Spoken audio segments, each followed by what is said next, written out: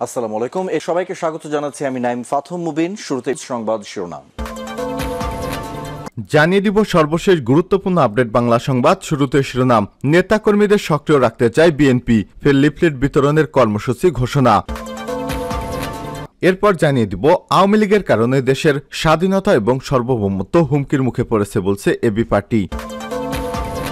জানাব সকালে আওয়ামী লীগের বিশেষ বর্ধিত সভা। আর সকাল দশটায় প্রধানমন্ত্রী শেখ হাসিনার সরকারি বাসভবন, গণভবনে তার সভাপতিত্বে এই সভা অনুষ্ঠিত হবে। এদিকে কুপিয়ে হত্যার পর বাড়ির সামনে ফেলে গেল লাশ। নারায়ণগঞ্জের ফতুল্লায় বড় নেতার লাশ ফেলে দেওয়া হয়েছে। কুপিয়ে হত্যার পর তার বাড়ির সামনে ফেলে গেল দুর্বৃত্তরা তার লাশ। জানাব মির্জা ফখরুলের মুক্তি নিয়ে যা বললেন উবায়দুল কাদের। এবং সর্বশেষ জানিয়ে দিব ভোটের মাঠে গিয়ে ইমরান খান সমর্থিতরা। নিরানব্বই আসনে জয়। ইমরান খানের দল পাকিস্তান তেহরিকি ইনসাফ পিটিআই দলীয়ভাবে নির্বাচন করতে না পারলেও দেশটির জাতীয় নির্বাচনে সবচেয়ে বেশি আসনে জয়ী হয়েছেন। তার সমর্থিত প্রার্থীরা এ পর্যন্ত নিরানব্বইটি আসনে জয় পেয়েছেন। প্রিয় দর্শক, এতক্ষণ শুনছিলেন সংবাদ শিরোনাম, এবারে বিস্তারিত। তবে তার আগে বন্ধুরা, আপনি কোন জেলা থেকে আমাদের সংবাদটি দেখছেন কমেন্ট করে জানিয়ে দিন। জানিয়ে দিন এই সংবাদ সম্পর্কে আপনার মূল্যবান মতামত। আর দর্শক, আপনি যদি আমাদের চ্যানেলে নতুন হয়ে থাকেন, ভিডিওটি দেখতে দেখতে চ্যানেলটি সাবস্ক্রাইব করে রাখুন। যাতে করে আমাদের লেটেস্ট আপডেট সংবাদগুলো সবার আগে আপনার কাছে পৌঁছে যায়। এবার বিস্তারিত। নেতাকর্মীদের সক্রিয় রাখতে চায় বিএনপি। দ্বাদশ জাতীয় সংসদ নির্বাচনের পর অনেকটা হতাশায় ভুগেছে বিএনপির নেতাকর্মীরা। এজন্য নেতাকর্মীদের সক্রিয় রাখার পথ খুঁজছে বিএনপি। এর অংশ হিসেবে ফের লিফলেট বিতরণের কর্মসূচি পালনের সিদ্ধান্ত নিয়েছে দলটি। আপাতত দুই অথবা তিন দিনের এই কর্মসূচি দেওয়ার কথা রয়েছে। পরে সমমনাদের সঙ্গে কথা বলে নতুন ধারাবাহিক কর্মসূচি ঠিক করবে তারা।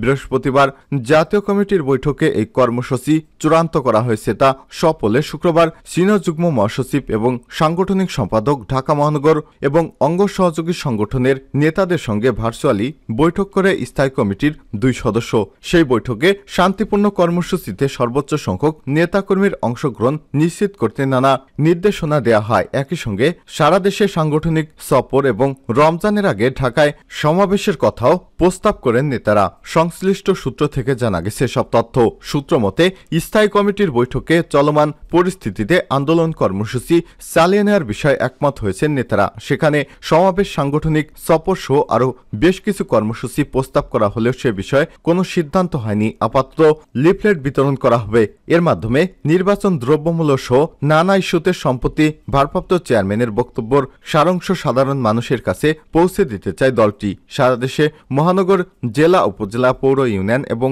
ওয়ার্ড সব পর্যায়ে এই কর্মসূচি পালন করবে দলটি আগামী বারো অথবা তেরোই ফেব্রুয়ারি ঢাকা থেকে সারা দেশে দুই অথবা তিন দিনের এই কর্মসূচি পালনের কথা রয়েছে, যা দু একদিনের মধ্যেই ঘোষণা দেবে দলটি। দলীয় সূত্র থেকে জানা গেছে, বিএনপি এখন বড় ধরনের কোনো কর্মসূচিতে যেতে চাইছে না। এজন্য ধীরনীতি অবলম্বন করছে দলটি। কারণ হিসেবে তারা, নেতারা জানিয়েছেন, সামনে পনেরোই ফেব্রুয়ারি থেকে শুরু হচ্ছে এসএসসি এবং সমমনা পরীক্ষা। মার্চে পবিত্র রমজান মাস শুরু হচ্ছে। পরে ঈদ উল ফিতর রয়েছে। এছাড়াও বিএনপির মহাসচিব মির্জা ফখরুল ইসলাম আলমগীর সহ শীর্ষ নেতারা এখনও কারাগারে বন্দী। তাদের মুক্তির বিষয়টি এখনও প্রাধান্য দেওয়া হচ্ছে।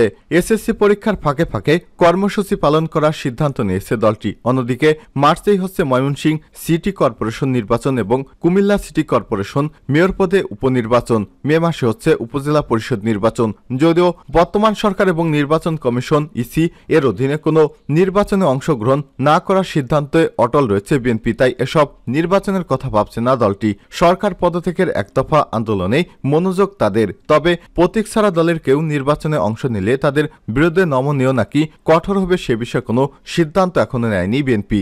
জানতে চাইলে বিএনপির স্থায়ী কমিটির সদস্য গয়েশ্বরচন্দ্র রায় বলেছেন, জনগণকে সঙ্গে নিয়ে গণতন্ত্র ফিরে আনার প্রতিশ্রুতি আমরা চলমান আন্দোলনের সঙ্গে আছি। আন্দোলনের গতি এক এক সময় এক এক রূপ নেয়। অপেক্ষা করুন নিশ্চয়ই শীঘ্রই আন্দোলন দেখতে পাবেন। তিনি আরও বলেছেন, বিএনপি সহ সমমনা বাষট্টিটি রাজনৈতিক দলের সাতই জানুয়ারির একতরফা নির্বাচন বর্জনের সিদ্ধান্ত সঠিক এবং যৌক্তিক ছিল। আওয়ামী লীগের কারণে দেশের স্বাধীনতা এবং সর্বভৌমত্ব হুমকির মুখে বলছে এবি পার্টি। আমার বাংলাদেশ এবি পার্টির নেতারা বলছেন, একটি তাবেতার সরকার অগণতান্ত্রিকভাবে জনগণের ভোটের অধিকার হরণ করে ক্ষমতা দখলের কারণে আজ দেশের স্বাধীনতা এবং সর্বভৌমত্ব হুমকির মুখে পড়েছে। শুক্রবার বিকেল চারটা দিকে রাজধানীতে আয়োজিত এক গণবিক্ষোভ কর্মসূচিতে এসব কথা বলেছেন তারা। নেতারা আরও বলেছেন, দ্রব্যমূল্যের ঊর্ধ্বগতি, সীমান্তে হত্যা, ধর্ষণ এবং সন্ত্রাস সহ আওয়ামী লীগের দুর্বৃত্তপনার বিরুদ্ধে এই গণবিক্ষোভ কর্মসূচির ডাক দেওয়া হয়েছে। পার্টির কেন্দ্রীয় কার্যালয় সংলগ্ন বিজয় একাত্তর চত্বরে আয়োজিত গণবিক্ষোভ এর সভাপতির বক্তব্যে বক্তব্য রাখেন এবি পার্টির সদস্য সচিব মজিবুর রহমান মঞ্জু।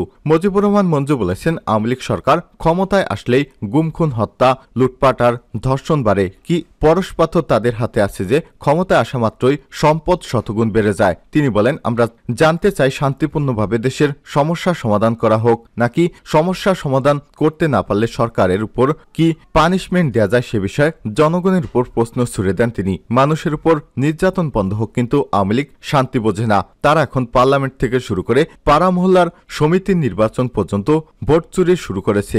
এ অধিকার হারা মানুষ যখন মাঠে নামবে তখন তারা কারও মুখের দিকে তাকাবে না। যখন মানুষ ঐক্যবদ্ধ হয়ে এমন প্রতিরোধ করবে আওয়ামী লীগের নাম টিকে রাখা তখন কঠিন হয়ে পড়বে। গণবিক্ষোভে প্রধান অতিথি এবি পার্টির যুগ্ম আহ্বায়ক অ্যাডভোকেট তাজুল ইসলাম বলেছেন, মিয়ানমার যেভাবে সহিংসতা ছড়াচ্ছে, সেভাবে দশ লাখ রোহিঙ্গা বাংলাদেশে আশ্রয় নিয়ে আছে। সরকার যদি সঠিক পরিকল্পনা গ্রহণ করতে পারত, অনেকে আগেই আরাকান স্বাধীন হয়ে যেত এবং রোহিঙ্গারা নিজ দেশে ফেরত যেতে পারত। তিনি আরও বলেন, ঢাকার পত্রি ইঞ্চি মাটি যেমন আমাদের কাছে গুরুত্বপূর্ণ, তেমনি নাইখনসরির এক ইঞ্চি মাটিও আমাদের জন্য সমান গুরুত্বপূর্ণ। যে বাহিনী দেশের স্বাধীনতা সার্বভৌমত্ব রক্ষা করতে পারে না, সেই বাহিনী আমাদের দরকার নেই। তিনি সরকারকে উদ্দেশ্য করে বলেছেন, ছাত্রলীগ, যুবলীগের ধর্ষণ বন্ধ করুন। দর্শকদের দৃষ্টান্তমূলক শাস্তির ব্যবস্থা করুন, নইলে জনগণ এমন পদক্ষেপ নেবে আপনারা রাস্তায় বের হতে পারবেন না। সকালে আওয়ামী লীগের বর্ধিত সভা। আজ বিশেষ বর্ধিত সভা ডেকেছে ক্ষমতাসীন আওয়ামী লীগ। শনিবার সকাল সাড়ে দশটায় প্রধানমন্ত্রী শেখ হাসিনার সরকারি বাসভবন, গণভবনে তার সভাপতিত্বে এই সভা অনুষ্ঠিত হবে।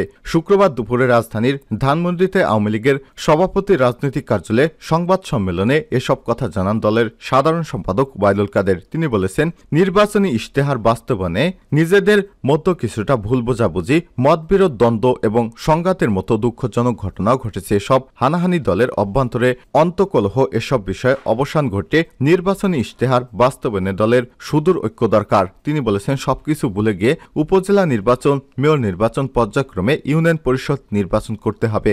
নির্বাচনকে ঘিরে যেন মনোমালিন্য কোনো সংঘাত সৃষ্টি না হয়, সেজন্য সবাইকে ঐক্যবদ্ধ থাকতে হবে। সবার মধ্যে ঐক্যবদ্ধ আবহ তৈরির জন্য এই বিশেষ বর্ধিত সভার আয়োজন করা হয়েছে।